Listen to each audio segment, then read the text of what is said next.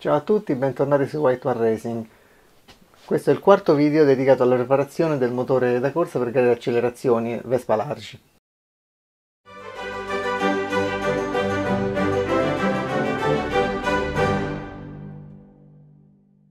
Dunque oggi siamo arrivati al dunque e il motore verrà messo sotto la Vespa per provare.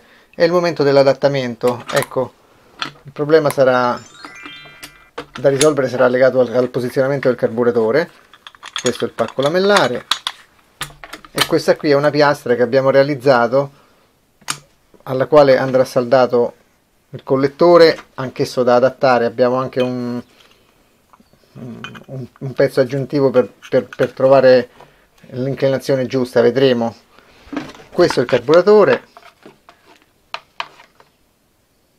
ok da 38 mm che dovrà trovare alloggio il più vicino possibile al pacco tenendo in considerazione gli ingombri rispetto al telaio. Bisognerà vedere la cuffia è stata modificata proprio per farci entrare il carburatore rinunciando a un po' di raffreddamento ma questo motore è de dedicato a sforzi brevi quindi insomma non dovrebbe creare problemi. Siamo arrivati al dunque. Motore sotto la Vespa e dobbiamo posizionare il carburatore la piastra l'abbiamo preparata approssimativamente anche nel foro che andrà raccordato al collettore che abbiamo adattato da, un, da, una, da una curva che ci ha gentilissimamente come al solito fatto Gianluca Marri che ringraziamo e al quale dobbiamo anche la splendida espansione. Eccola qui che va veramente bene è stata provata su altri motori va benissimo poi andiamo a posizionare la piastra. Il collettore adattato più o meno che dovrà essere puntato e poi saldato. E questo è il carburatore. E come vedete ci siamo. Gli spazi sono veramente risicati però siamo riusciti ad alloggiarlo. Ecco qui. Abbiamo fatto un ulteriore piccolo passo avanti. Abbiamo appuntato grossolanamente la, la piastra, la flange di attacco al collettore, al gomito eh, e poi abbiamo anche sempre solo puntato, andrà rifinita, saldata per bene, una, una strisciolina di, di lamiera ricavata da un tubo per far sì che il manicotto non sfugga una volta stretto. Ora andiamo a fare un, un falso montaggio per vedere se, se e di quanto abbiamo sbagliato. Vediamo, eh allora questo collettore in posizione carburatore. E comunque tenete comunque presente che un piccolissimo margine di aggiustamento lo dà anche il manicotto in gomma però ecco i fori corrispondono e ci siamo. Si può far saldare definitivamente il collettore. E poi proveremo.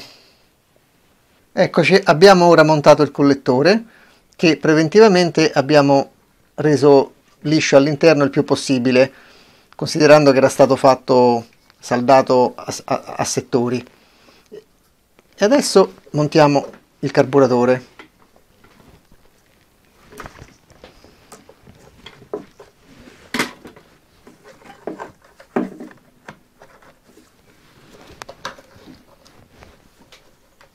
Le misure che abbiamo preso risultano corrette perché il carburatore finisce nella posizione desiderata. Bisogna solo stringerlo.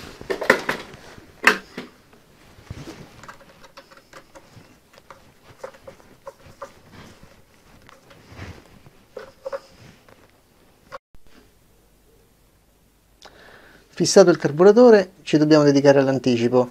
Abbiamo fissato il comparatore alla testa e abbiamo individuato il punto morto. Come vedete eccolo.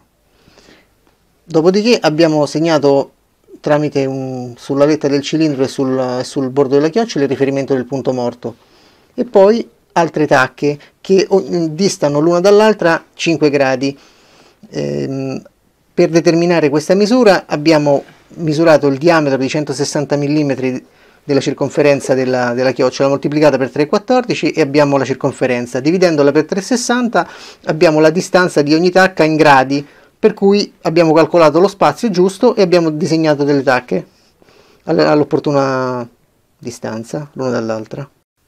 Abbiamo posizionato ora il soffietto del carburatore, così aspira in zona di calma. Il soffietto eh, ha il vantaggio di non imbrattarsi di benzina col, col rigurgito per cui non falsa la carburazione dopo un breve uso cosa che invece capita col filtro e spugna. Questo è un problema riscontrato più volte quindi abbiamo fatto così anche se la soluzione può avere dei contro se il soffietto si piega. Comunque in questo caso dovrebbe funzionare. Ora abbiamo approntato la pistola stroboscopica abbiamo fatto le tacche di cui abbiamo parlato prima e a motore al minimo prima che venga ritardato dall'anticipo variabile la tacca, la mm, aletta disegnata da colorate di rosso dovrebbe corrispondere al puntino più o meno prima di T che dovrebbero essere 23 gradi circa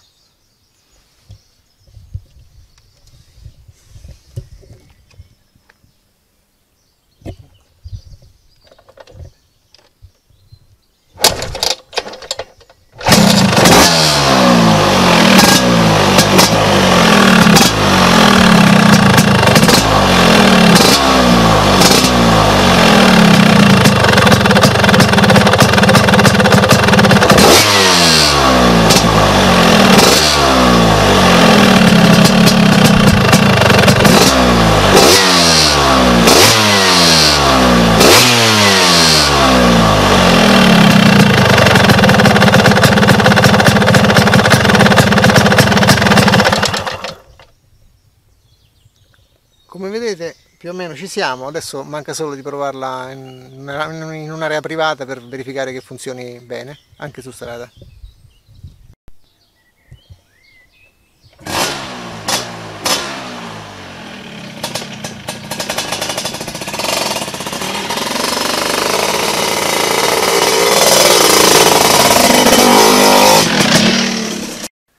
Per oggi è tutto. Non farci fare brutta figura eh Arrivederci amici, ci vediamo al prossimo video. Se ti è piaciuto il video, lascia un like e condividilo con i tuoi amici. E ricorda, White War Racing non è un'officina, ma un'associazione sportiva dilettantistica che prepara motori solo a fini sportivi e solo ai propri associati.